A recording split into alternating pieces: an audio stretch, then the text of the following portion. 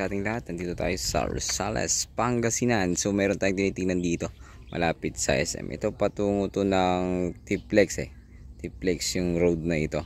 Palabas ng Tiplex um, bypass tapos pupunta dun sa exit ng Carmen. Tapos ito naman papunta rin ng SM Rosales, papunta ng National Highway.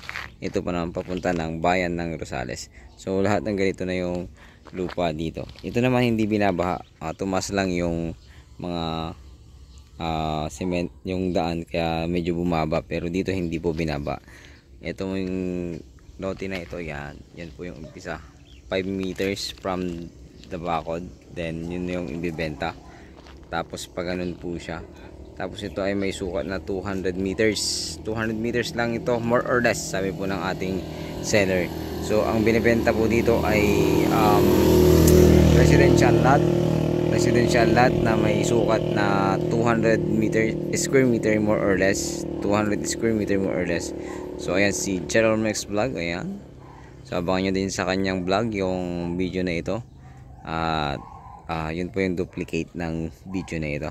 So may dalawang mangga native po yan ayan. So ang frontage nito nasa 25 more or less meters ang ginagawa po nila ditong daan ay pababa. So nagtatapon sila pababa then yung mga bahay nila nakakababa. So hindi po siya binabaha sa lugar na ito. So ayan. Napakaganda. So shout out Jerome Max Vlog. Abangan nyo po. At ayan malapit po yung national highway dyan sa part na yan. At ang ganda po mag jogging dito sa lugar na ito. At sa mga gusto po may gusto na may maliit lamang na area para pagtayo ng kanilang bahay na malapit po sa T-Flex exit ng Carmen. Yung tanaw na tanaw po yung bypass. Ayan po siya. Yan po yung bypass ng exit ng Carmen. Uh, exit ng Rosales Pangasinan. So napakalapit lamang po. So ayun muli. Ito po ay bayan ng Rosales Pangasinan. Mother title. Gusto pong ibenta ito 200 square meter more or less na ito sa halagang 3,500 per, per square meter.